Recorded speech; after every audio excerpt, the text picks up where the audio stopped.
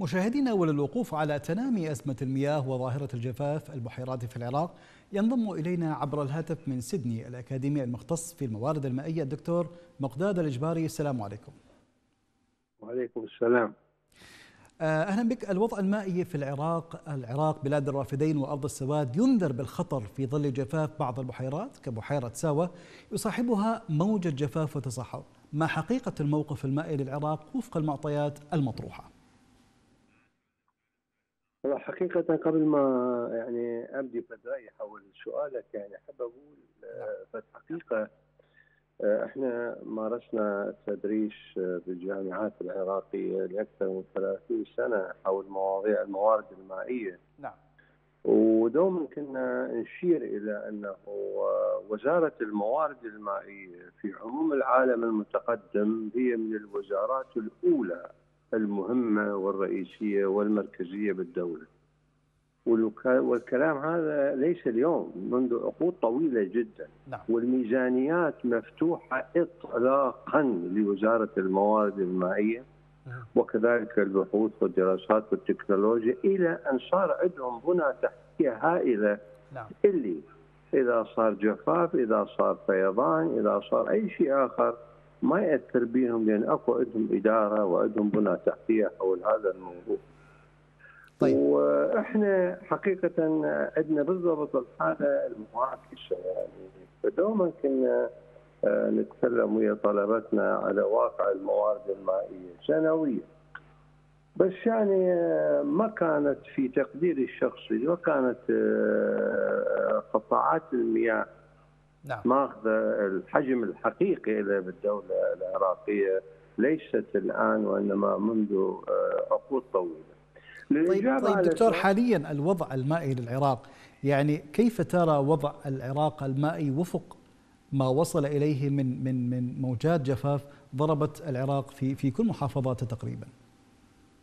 حقيقة الإجابة على سؤالك هذا أحب أقول أكو ثلاث مجاميع من العوامل اللي هي تضغط على الواقع المائي العراقي نعم.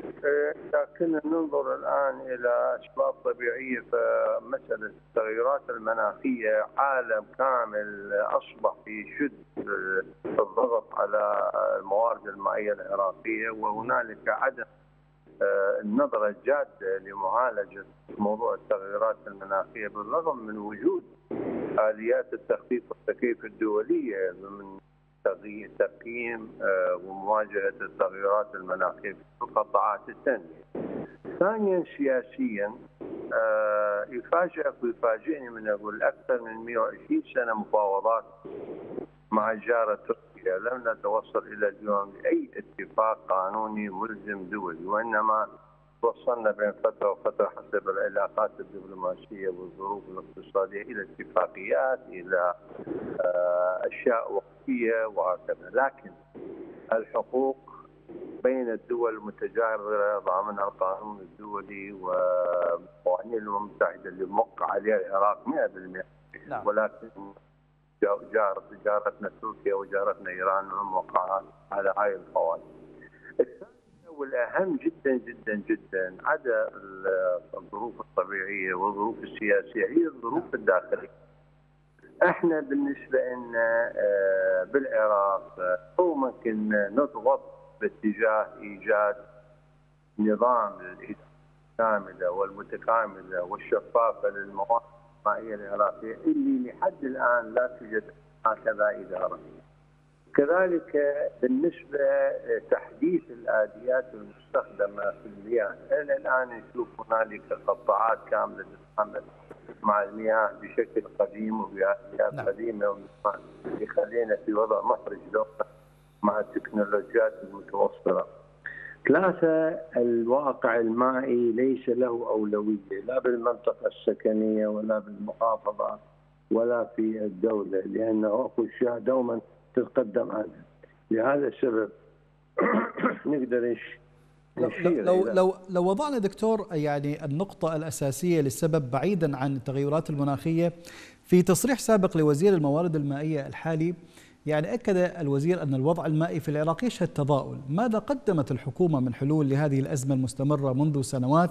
وهي أزمة مفتعلة من قبل إيران يعني باعترافها شخصيا. آه، موضوع التضاؤل نعم موجود وليس جديد ولكن هناك زيادة في التضاؤل وهنالك آه، قلة في الحلول الموجودة لأنه دول الجوار المائي آه، الجغرافي المتمثل في تركيا وفي جاره إيران نعم.